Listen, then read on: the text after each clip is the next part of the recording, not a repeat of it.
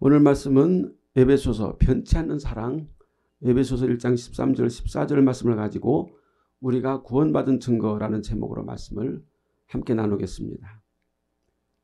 바울은 3위 하나님의 놀라운 구원 계획을 말하면서 에베소 성도들을 향해서 너희도 이와 같이 너희도라고 말하고 있습니다. 너희는 하나님의 이러한 놀라운 구원 계획과 무슨 상관이 있는가 하고 질문하는 것입니다.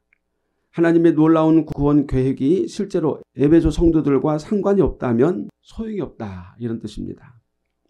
예수님께서 말씀하신 감춘 보화 진주라 하더라도 찾지 않는 자에게는 아무런 관계가 없다. 앞에 보석이 있고 다이아몬드 진주가 있다 하더라도 내가 그것을 소원하고 내가 그것을 소유하지 않는다면 그 가치가 우리에게 아무 관계가 없는 것과 마찬가지입니다.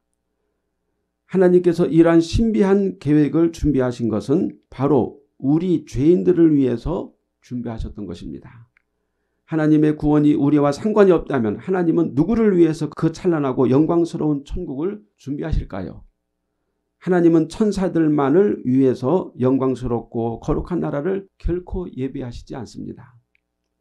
그래서 바울은 하나님의 구원 계획이 죄인인 우리에게 어떻게 적용되어야 하는가를 말씀해 주고 있습니다.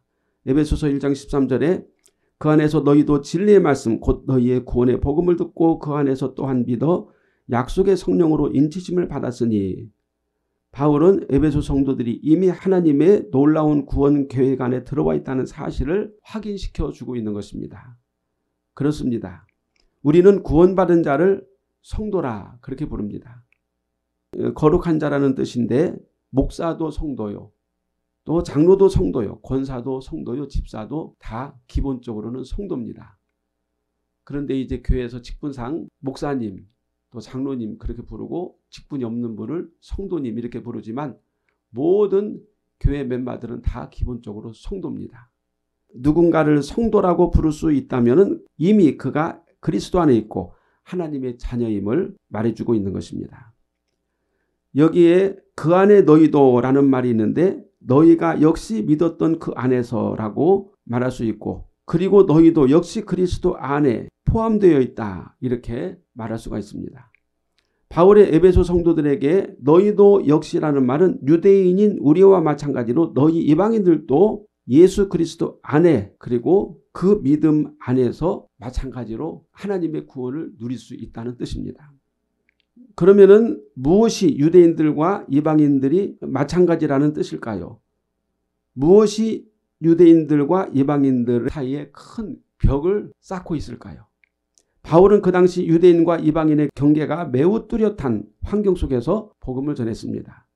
유대인들은 이방인들을 이렇게 생각했습니다. 하나님에게 버림받은 자들이다.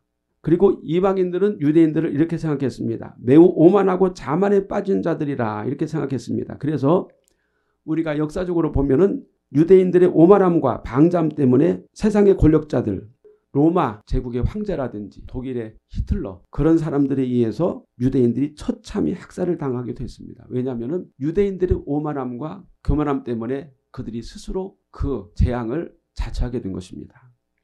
그러므로 유대인으로서 바울이 이방인들에게 복음을 전하기 위해서는 유대인과 이방인 사이에는 강력한 편견의 벽을 허물어야 됐습니다.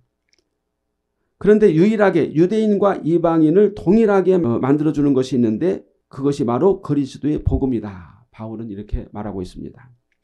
그 당시 유대인들은 자기들만이 유일하게 하나님의 선민이요 유대인들만이 하늘의 복을 누릴 수 있는 특권이 있다. 그렇게 자만했습니다.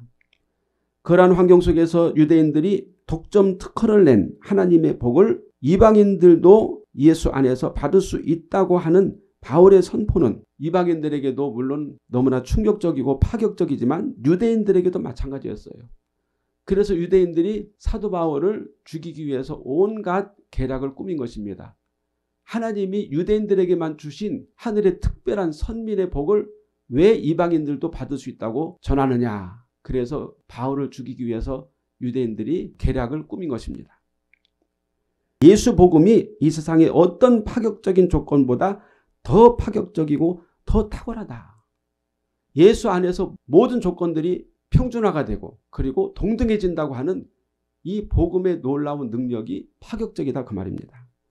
실상 그 당시 이방인들의 신앙은 대부분 미신과 우상숭배, 신들의 전쟁, 그리스 로마 신화가 고작이었던 것입니다. 지금도 현대 문화의 바탕에는 그리스 로마 신화의 그 거짓 이야기들이 깔려 있어요. 그래서 유대인들은 그러한 땅의 것들을 숭배하고 탐하는 이방인들을 뭐라 그랬습니까? 개, 돼지라 그랬어요. 땅의 것들만 구하던 이방인들도 하늘의 복을 받고 하나님의 백성이 되어 천국에 들어간다는 사실은 얼마나 놀라운 사실이 아닌가 할 수가 있습니다. 그래서 바울은 너희 이방인들도 그리스도 안에서 우리 유대인들과 함께 하늘의 영광 하나님의 자녀의 권세를 누릴 수 있다 이렇게 선포한 것입니다.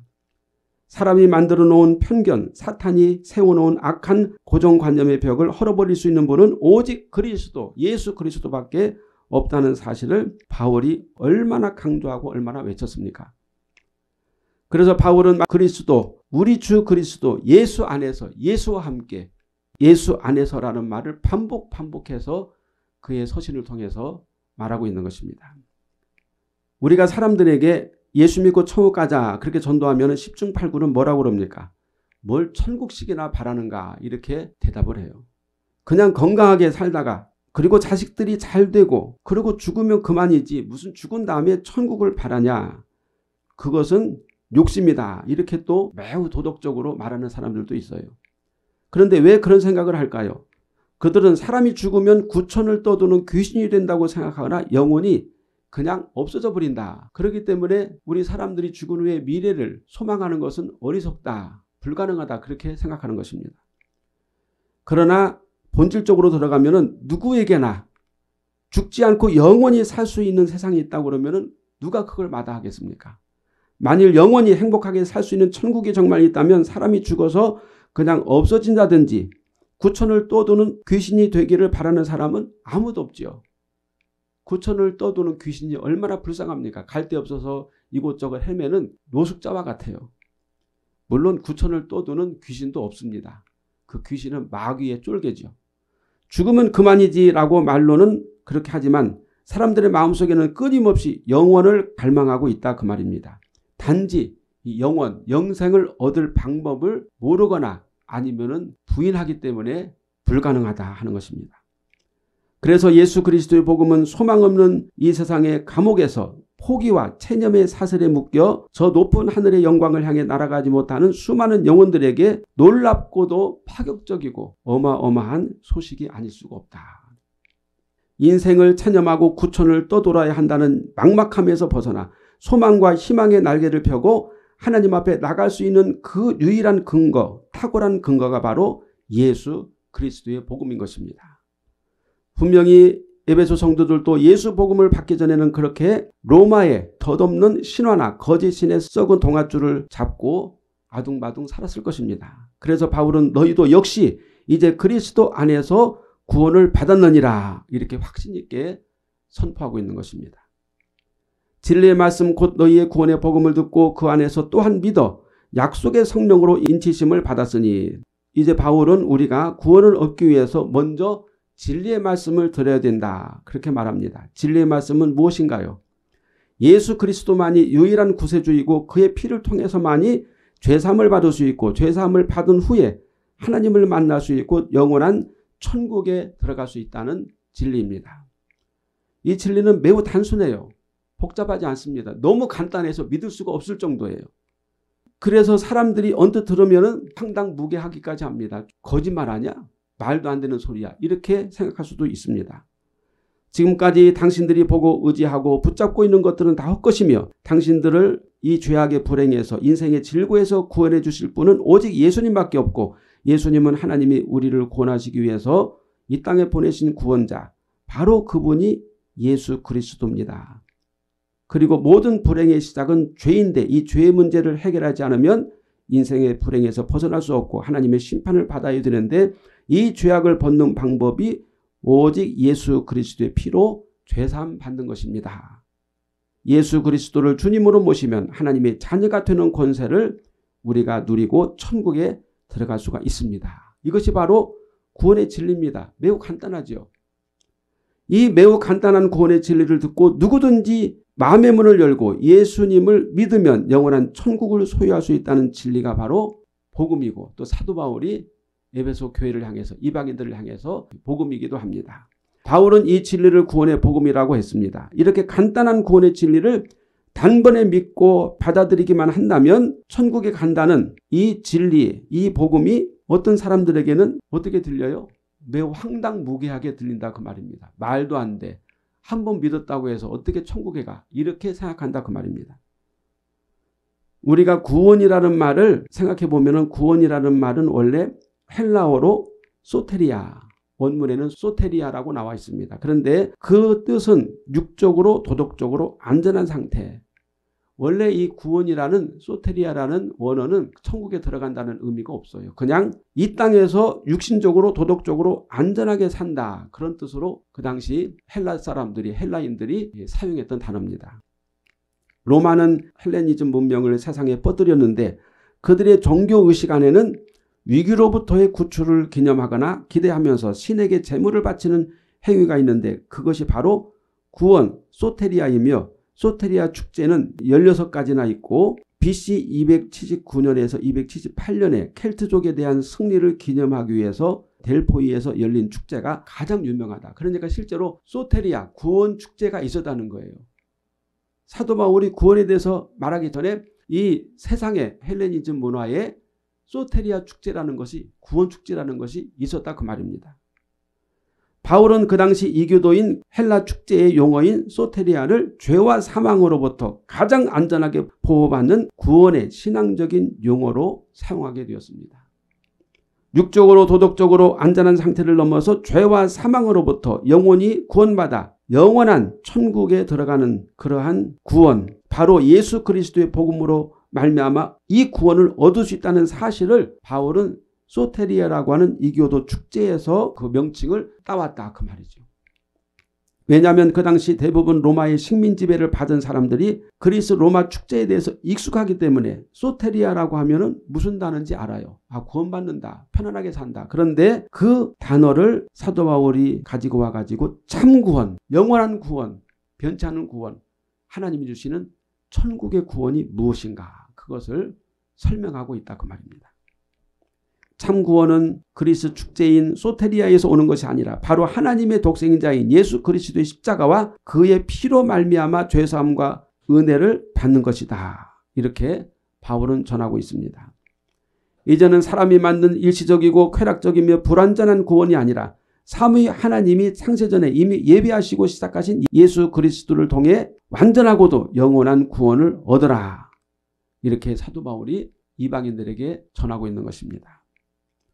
이 세상에도 일시적으로 안전하고 평화로운 상태 소테리아가 있습니다. 어떤 황제나 또는 왕이나 혹은 대통령이 나타나서 일시적으로 태평성대를 이루어줄 수 있습니다. 그러나 역사를 보면은 육신적인 지상천국은 권력 다툼으로 다시 전쟁이 오고 세월이 지나면서 다 낡아지고 쓰러지고 없어진다는 사실을 역사를 통해서 보고 있습니다. 또한 개인적인 소테리아도 있습니다. 건강, 젊음, 아름다움, 쉼, 권력, 재물, 이 세상의 쾌락. 그러나 이런 것들도 세월이 지나면 어떻게 됩니까? 다 시들어가죠. 과거에는 내가 건강했는데 과거에는 그래도 내가 힘이 있었는데 그런 것들은 다 쓰러집니다. 그래서 사람들은 무의식적으로 영원히 시들지 않는 그리고 쇠하지 않는 구원을 갈망합니다. 내가 가진 것, 내가 누리는 것들이 점점 약해지고 시들해지고 사라져갈 때 아, 진정한 구원은 무엇인가? 진정한 평화는 무엇인가? 이것을 생각하게 된다 그 말입니다. 바로 그 구원이 예수 그리스도의 복음인 줄로 믿습니다.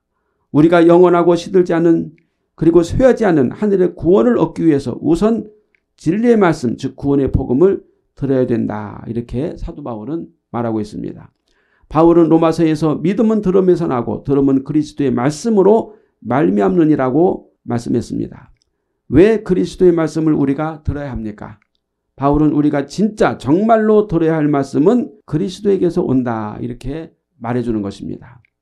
우리가 이 세상에서 정말 듣지 않으면 안 되는 말씀 반드시 들어야 하는 말씀 생명을 주고 구원을 주고 영원한 삶을 주는 말씀 그 말씀은 오직 예수 그리스도에게서만 나오기 때문입니다. 예수 그리스도는 생명의 주체이신 하나님이십니다. 이 세상은 정보의 바다지요. 모든 듣는 것이 다 유익하지 않고 이 세상의 모든 정보는 시시때때로 변하고 어떤 때는 우리를 위협합니다. 아는 것이 힘이지만 아는 것이 병이 될 수도 있어요. 차라리 몰라서 안전한 것도 있습니다. 그러나 그리스도의 복음은 우리가 들으면 들을수록 알면 알수록 더욱 안전하고 완벽하고 영원한 구원과 평안함으로 우리를 인도합니다. 그래서 우리 성도들이 매일 그리스도의 복음을 들어야 하고 우리가 들은 그리스도의 말씀은 우리 안에서 날마다 성령으로 역사하게 되는 것입니다. 우리가 세상에 걱정, 의심 또 복잡한 생각에서 벗어나기 위해서는 조용히 주님의 말씀을 묵상하는 시간을 갖습니다. 이것을 콰이어트 타임이라고 그러죠. 조용한 시간. 그래서 조용히 주님의 말씀 안에 들어가면은 어느덧 우리 마음속에 평안이 오고 또 은혜가 오고 성령이 임하셔서 모든 세상 걱정들을 잘 헤쳐나갈 수 있도록 하나님께서 능력을 주시는 줄로 믿습니다. 예배소서 6장 17절에 구원의 투구와 성령의 검, 곧 하나님의 말씀을 가지라. 이렇게 말씀하고 있어요. 우리가 진리의 말씀을 들은 다음에는 어떻게 됩니까? 믿고, 믿고라고 바울이 말하고 있습니다. 그 안에서 믿고 예수 그리스도를 믿는다는 뜻입니다. 그리스도의 말씀을 듣고 인격적인 예수 그리스도를 내 마음속에 모셔드리는 것입니다. 우리가 이렇게 말을 하는데 말은 그 사람의 인격이라고 그러죠. 그래서 말하는 것을 보면 그 사람의 성품이라든지 그 사람의 인격을 어느 정도는 알 수가 있어요. 그런데 꼭 그런 것만 아닌 것 같아요. 말을 매우 고상하고 지적으로 말하는 사람도 나중에 보면은 음흉하고 흉측한 사람도 있어요. 어쨌든 사람의 말이 진실하면 그 인격이 진실하고 말한 사람을 신뢰할 수 있다. 그 말이죠. 그리스도의 말씀, 우리 예수님의 말씀이 진리이기 때문에 우리는 예수 그리스도를 인격적으로 믿고 의지하며 예수님 안에 거할 수가 있는 것입니다. 13절 말씀에 너희의 구원의 복음을 듣고 그 안에서 또한 믿어 약속의 성령으로 인치심을 받았으니 복음을 듣고 그리스도를 믿는 자에게 하나님께서 성령의 인침을 주신다고 바울이 기록하고 있습니다. 다시 말하면은 복음, 예수님의 말씀을 우리가 듣고 믿음으로 우리 마음에 받아들이면 그 즉시 성령이 오셔서 우리 영혼을 인치신다. 이런 과정이에요. 성령은 어떤 분입니까? 성령은 현재 이 시간 이곳에서 다시 말하면 실시간으로 우리 성도들을 보호하시고 지키시는 하나님의 영이십니다.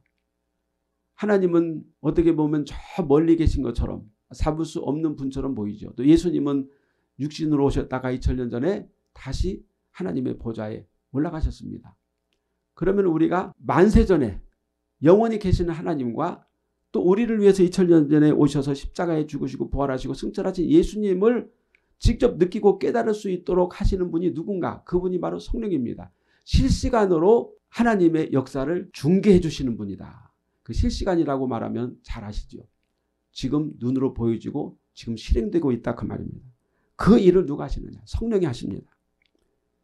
성령은 하나님과 그리스도의 현재성을 계속해서 유지하시는 분입니다. 그러면 성령께서 인치신다는 말은 무슨 뜻일까요? 일반적으로 과거에 노예를 자신의 소유로 표시하기 위해서 불도장을 팔에 새겼습니다. 또 가축을 자기 소유인 것을 표시하기 위해서 귀를 뚫거나 또는 가축의 몸에다가 불인두를 찢어서 표식을 했어요. 바로 그것이 인치는 것입니다.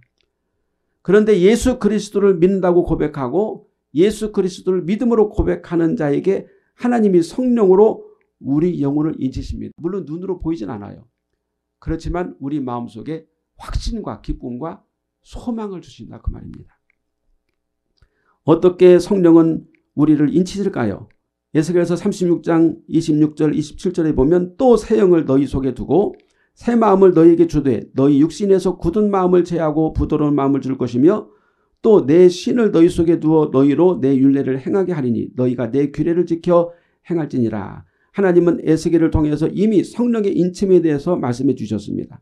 성령은 사람의 영혼을 인을 치는데 성령의 인을 받은 자는 어떻습니까? 하나님에 대해서 예수 그리스도에 대해서 강팍한 마음을 깨뜨리고 부드러워져서 마치 순한 양처럼 하나님의 말씀을 순종하고 예수 그리스도를 믿고 따르게 되어 있다.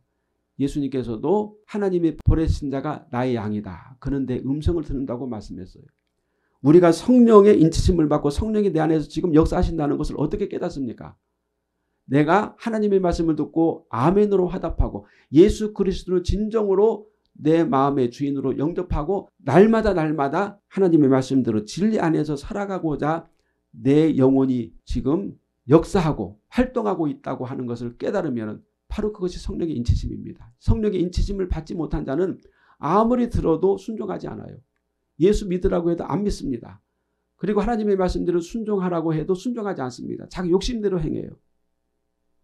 예수 그리스도를 믿고 성령으로 인친 자는 하나님을 사랑하며 예수 그리스도를 본받기 위해서 힘쓰며 하나님의 말씀에 순종하며 하나님의 거룩하심에 이르기 위해서 자기를 쳐서 복종시키고 죄를 끊기 위해서 영적인 싸움을 하게 된다. 이것이 바로 성령의 인치심입니다. 성령은 우리에게 약속을 해주셨어요. 그 약속은 영원한 하늘의 약속입니다. 우리가 가장 안전하고 확실한 구원의 말씀을 들으면 성령은 우리 영혼의 인을 치시고 실시간으로 우리와 함께 하셔서 사탄과 모든 악과 위험으로부터 우리를 지키시고 안전하게 그리고 거룩한 성도로서 살아갈 수 있도록 우리와 함께 역사하신다. 우리가 죄를 이기고 세상의 탐욕과 유혹을 이길 수 있는 방법은 우리 의지로 되는 게 아니에요. 아무리 우리가 작심삼일을 해서 내가 죄를 이기고 잘못된 길을 가지 말아야 되겠다. 발버둥 치고 일을 가라도 안 됩니다. 금방 쓰러져요. 3일도 안 돼서 포기합니다. 그러나 성령이 내 안에 계시면은 내가 그리스도의 길, 거룩한 길을 살기 위해서 그 진리의 말씀을 따르는 삶을 계속 계속해서 지속할 수 있다 그 말입니다. 물론 단번에 완성이 되진 않아요. 그러나 우리가 몇 번의 실수 또는 여러 가지 넘어짐을 통해서 다시 일어나고 다시 일어나고 다시 성령의 능력으로 일어나서 진리이신 예수 그리스도 하나님의 말씀을 붙잡게 된다. 바로 이것이 성령의 인치심입니다. 어떤 분들은 성령의 인침을 받는다고 그러니까 막 방언을 하고 막 환상을 보고 계시를 보고 천국에 가서 뭘 보고 와서 내가 환상을 봤다. 이것은 귀신의 역사가 더 많아요. 그런 경우는 진짜 성령 역사 하시는 경우는 희박합니다. 물론 필요하면 하나님이 주시겠지만 그러나 중요한 것은 내가 예수 그리스도를 믿고 하나님의 진리 안에서 거룩한 성도로서 살아가기 위해서 지금도 말씀과 기도로 또 하나님을 의지하며 부 단히 힘쓰는 것 바로 그것이 성령의 인치심입니다. 이러한 구원의 현재 진행형을 예배소 성도들은 누리고 있다 그랬어요. 역시 우리도 구원의 현재 진행형 성령의 실시간 역사하심을 지금도 우리가 여기서 누리고 있는 줄로 믿습니다. 그래서 사도 바울은 구속하신 그 영광을 찬미하라. 실시간으로 역사하시는 구원의 놀라운 능력을 찬미하라.